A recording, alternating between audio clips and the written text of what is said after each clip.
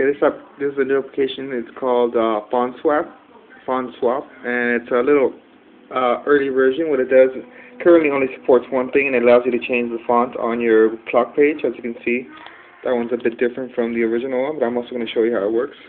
So let's go into my iPhone, um, and let's go find utilities, Font Swap. As you see, it has a few different settings. Too bad my camera is a little blurry. And here are the fonts you can choose from. We choose one obvious, that way you can see. Choose the LCD temp one. And so, set font to respring. It's restarting. And so as you can see now, I have a whole different font.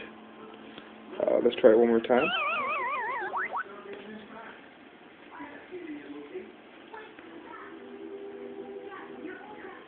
Swap.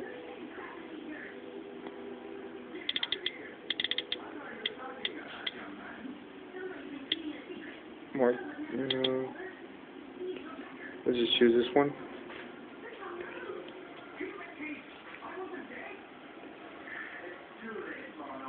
And so as you can see, it's been changed again. Um, like I said, hopefully there'll be more updates where you can change all the fonts on your uh, iPhone. And uh, you can download this application at uh, my website, which is uh, going to be in the description. And there you go.